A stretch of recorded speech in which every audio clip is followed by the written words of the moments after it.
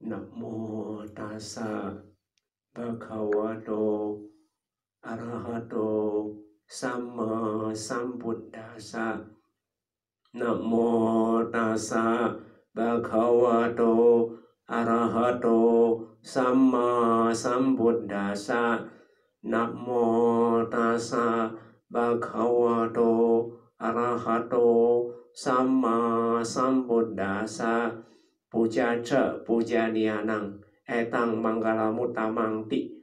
Junjunglah yang tinggi yang pantas kita junjung yaitu satu jalan mulia berunsur delapan. Itulah berkah utama. Ya. Selamat sore semuanya. Uh, kali ini kita membahas dhamma Dhamma Sakaca. Dhamma itu yang boleh diterjemahkan ajaran kebenaran.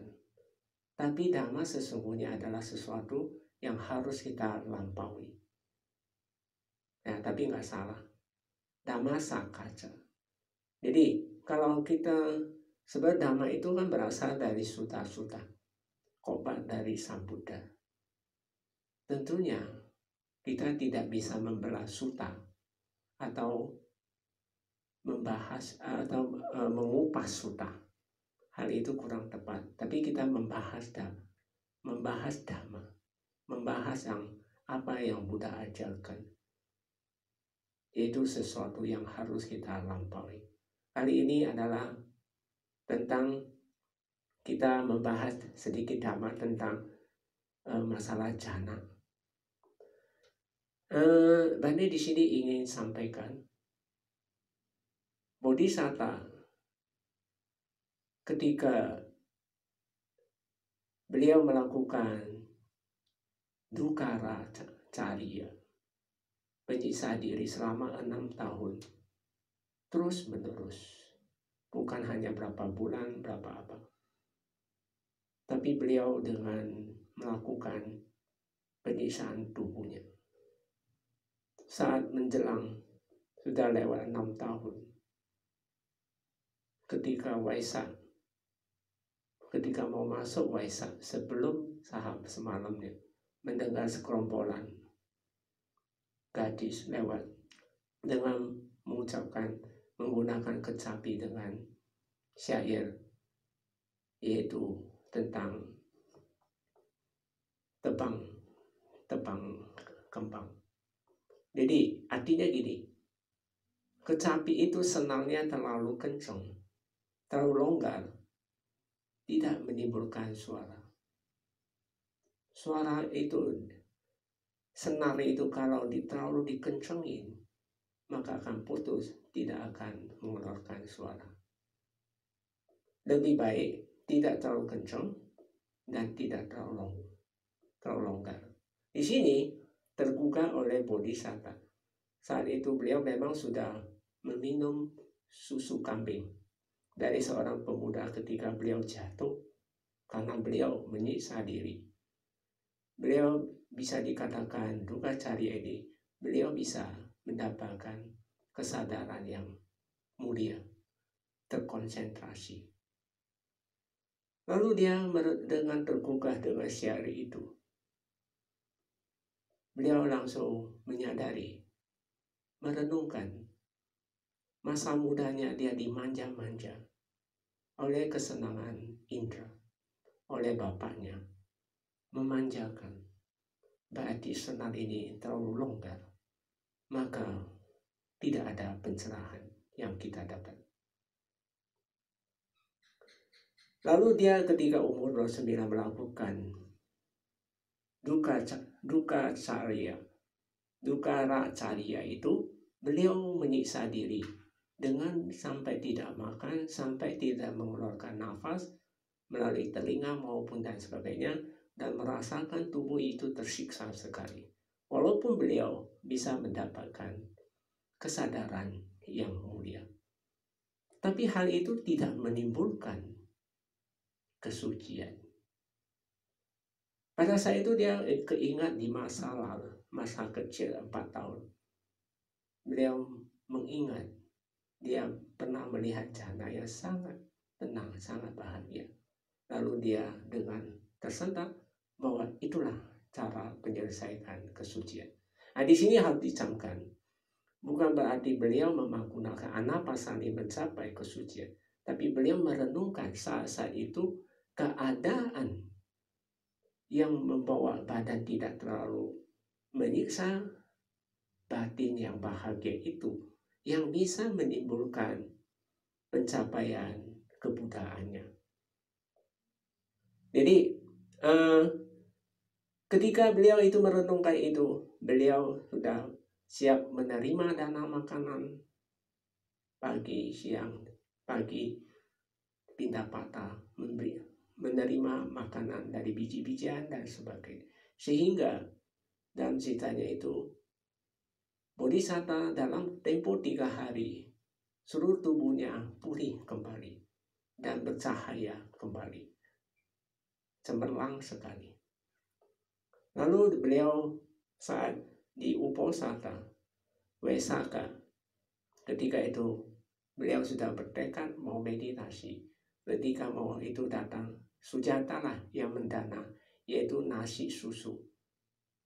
Payasa namanya payasa. Susu payasa itu terbuat dari uh, Sujata itu menggunakan serat seribu ekor lembu memakan rumput rumput satu khusus yang bisa uh, memurnikan susunya dari seribu hasil susu seribu itu dikasih 500 susu sapi, hasil sapi untuk min, untuk makan minum dari 500 ke 250 dari 250 1250 dari 1250 uh, beliau kasih 60 6, 68 ya. Jadi menjadi 34, jadi 16, jadi 8 terakhir. Hasil susu itulah beliau persembahkan kepada uh, Buddha Bodhisatta. Pada saat itu dia menganggap sebagai dewa di sana. Di sini Bante ingin mau menyampaikan ketika beliau sudah minum maka menerima ini beliau uh, bertekad untuk menjalani ketika beliau menggelar uh, rumput itu muncullah tiba-tiba suatu disebut bodi mandala. Nah di sini Bante mau menyampaikan beliau menghadapi marah bukan melalui jana apa ma, tapi beliau menggunakan melihat proses dhamma muncul lenyap muncul lenyap di dalamnya karena beliau di bodi mandala. Bodi mandala, mandala itu berkah atau disebut permata luas. Jadi boleh dilakukan tempat kemenangan yang membawakan berkah. Ketika saya itu marah dari luar ingin mendorong, menggagalkan sang Buddha pencapaian itu. Tapi marah itu mengeluarkan segala jurus, tapi tidak mampu mengenakan bodi palangka itu. Jadi ingat ya, Bud Bodhisatta melawan marah dari luar dari dewa itu.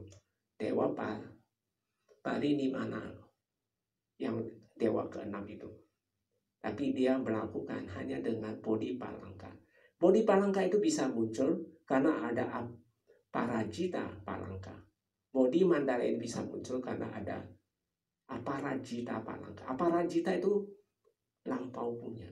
Kebahagiaan yang lampau yang beliau kumpul, yang berupa parami yang sangat besar, membentuk palangka. Palangka itu satu taksa, berupa taksa atau berupa satu pulau, satu kemenangan. Beliaulah dengan menghadapi marah saat itu dengan paraminya, bukan dengan jana. Tapi beliau menghadapi marah itu dengan sepuluh paraminya yang beliau kumpul berapa kehidupan. Empat asian kapal seratus ribu kapal itu.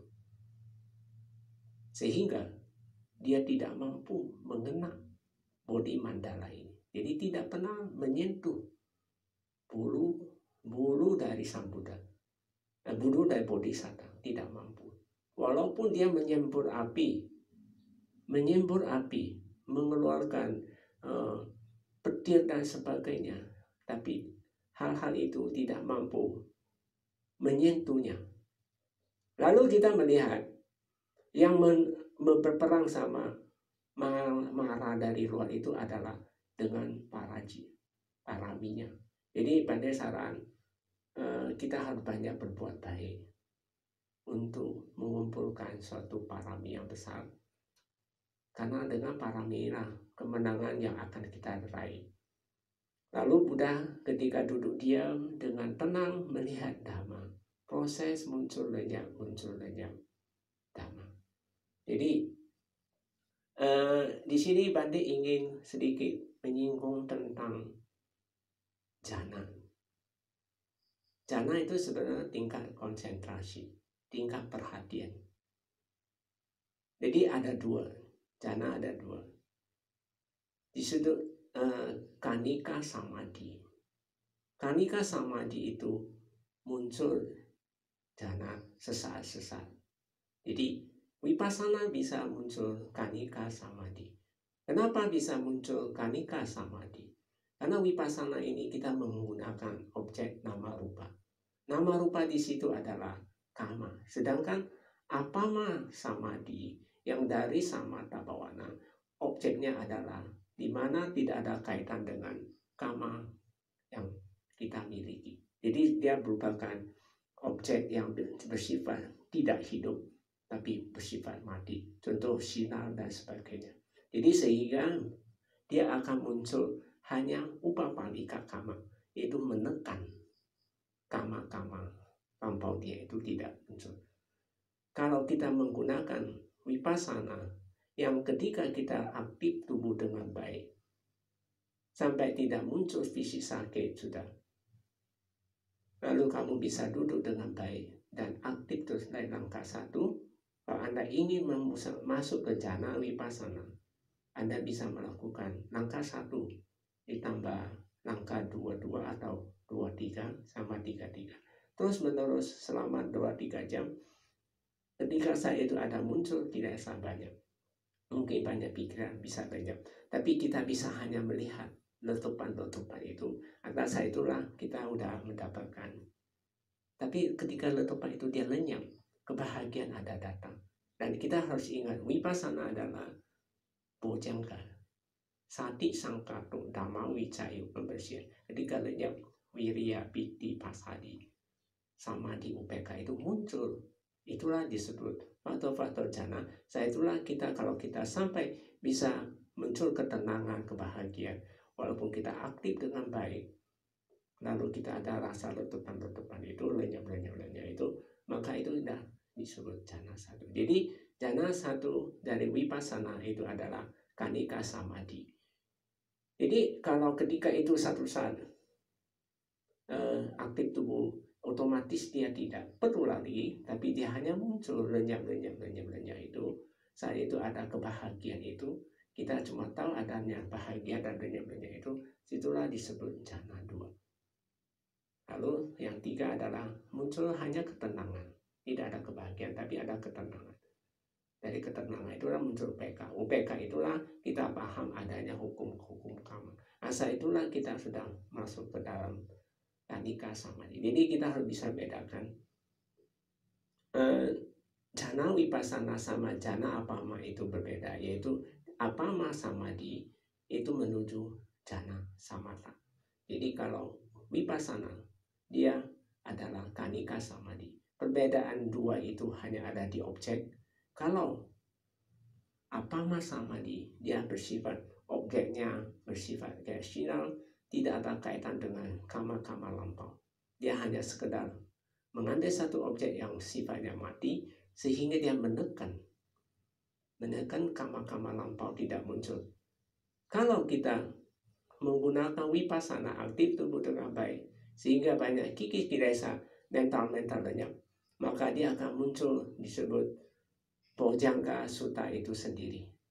Nah, di sini Bandi ingin sampaikan bahwa sebenarnya jangan dipersalahkan, dipermasalahkan.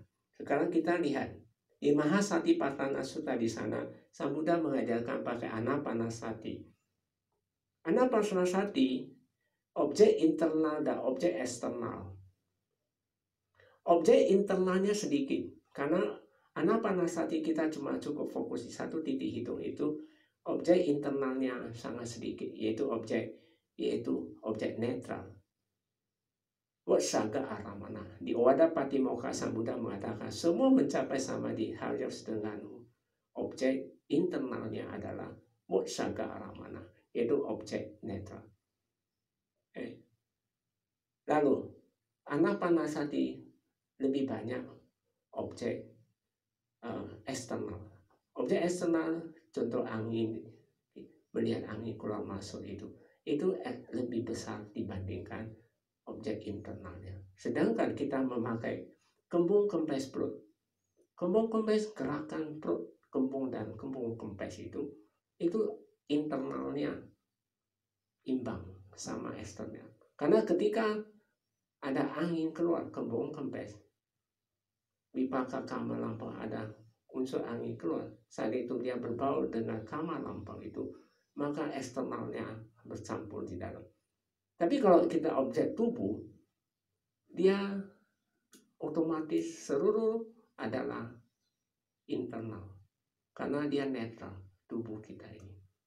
Dan kita bisa lenyap-lenyap melihat proses. Memang kadang-kadang kita akan muncul yang disebut uh, ngantuk dan sebagainya yang sangat kuat. Nah, kita harus pahami bahwa itu sama karena kamar lampau yang kuat sekali yang mendorong dia dengan sangat kuat. Maka dalam meditasi Sang Buddha mengatakan seseorang harus ada dua. Duka akan lenyap. Ketika seseorang itu dia harus memahami duka bahwa pengertian ada. Mengerti tentang proses. Mengerti apa objek yang harus dilihat. Dia mengerti objek wipaka yang akan muncul, yang dia akan terima. Lalu ada satu perhatian Perhatian artinya ketika itu dia muncul, dia harus bisa memegang satu objek, yaitu objek netral. Nah, di sini kita lihat, sebenarnya dalam hidup kehidupan kita ini adalah pilihan. Kenapa Bante mengatakan itu pilihan?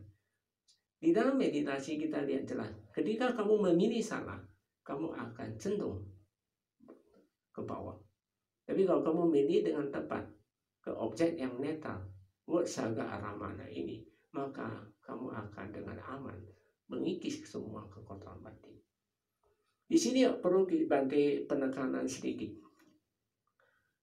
bahwa dalam meditasi fokus terhadap objek netral itu sangat penting.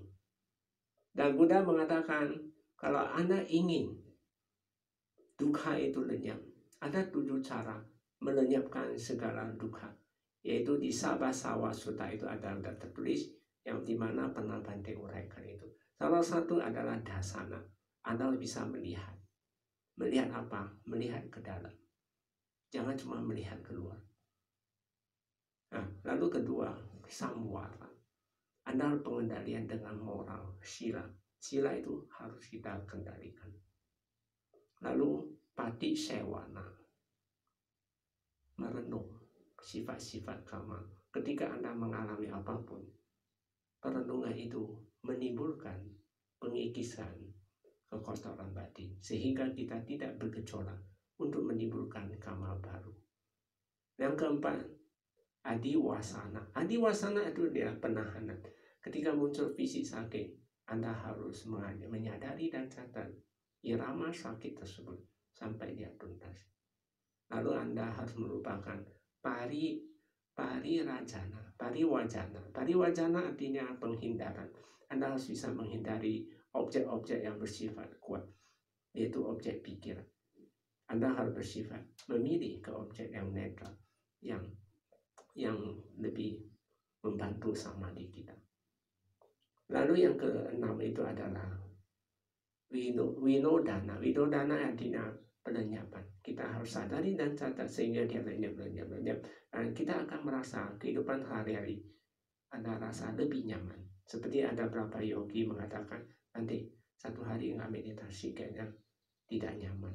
Ya itu salah satu ketidaknyaman itu muncul bukan karena apa-apa, karena semua dari buah kamal lompok. Sang Buddha mengatakan, wipaka kama itu yang selalu mengejolak, membuat hidup kita baik buruk itu muncul. Jadi jangan punya pandangan salah kayak Niganta. Niganta dia percaya adanya hukum kama.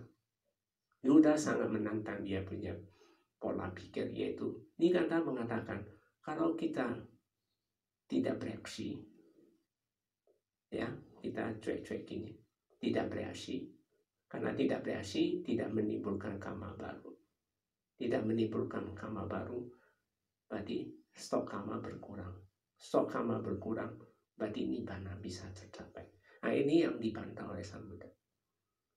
Mengatakan segala sesuatu itu muncul ada kama lampau tapi bukan dicuekin. Kita harus sadari dan catat dia sampai dia tuntas dia lenyap. Itu baru disebut pandangan benar. Eh, perbedaan Nikanta ini memang dia percaya ada agama lampau. Tapi dia cara nangani dia bilang, ketang, kita nggak bereaksi apa pun. Kita diam aja. Maka karena nggak bereaksi, kita tidak membuat kama baru. Kalau tidak membuat kama baru, berarti tidak ada uh, sangkara baru. Tidak ada sangkara berarti nibbana sudah capai. Ini yang dibantah oleh Sang Buddha. Jadi Sang Buddha mengatakan segala sesuatu itu muncul melalui dari kekotoran batin kita. Jadi sangkara muncul kalau kamu nggak sadari catat, maka dia akan melalui. Nah, untuk sebagai uh, tip pada para pemirsa, Buddha mengatakan ada satu hal.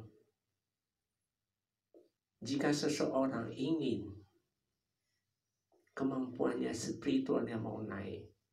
Kemampuan dan kekuatan spiritualnya mau naik. Kata Sang Buddha. Dia harus apabila dia Anda sendiri memikirkan kebaikan dan kebajikan yang lampau yang sudah Anda lakukan. Karena ketika saya itu Anda memikirkan pernah kebaikan perbuatan Anda lakukan itu akan menimbulkan gembira. Apabila Anda gembira, Sang Buddha mengatakan, akan muncul bahagia di dalam batin Anda. Kalau batin Anda sudah bahagia, maka Anda pasti tubuh Anda menjadi tenang. Kalau tubuh sudah menjadi tenang, Anda akan muncul perasaan senang Ketika perasaan senang itulah akan menimbulkan kesadaran Anda terpusat. Saat itu sangat baik. Jadi nanti saran cobalah selalu berbuat baik ketika selalu tiap hari merenung kebaikan kebajikan yang kita sudah lakukan. Pasti kita akan menimbulkan rasa gembira. Eh, rasa gembira itulah menimbulkan kebahagiaan di dalam batin kita. Dan kebahagiaan batin inilah akan muncul tubuh yang tenang. Kalau tubuh sudah tenang, perasaan kita pun senang. Perasaan senang itulah yang menimbulkan kesadaran yang tinggi. Nah, nanti saya rasa sebagai penyampaian ini saya rasa cukup. Kira-kira para pemirsa ingin bertanya silakan.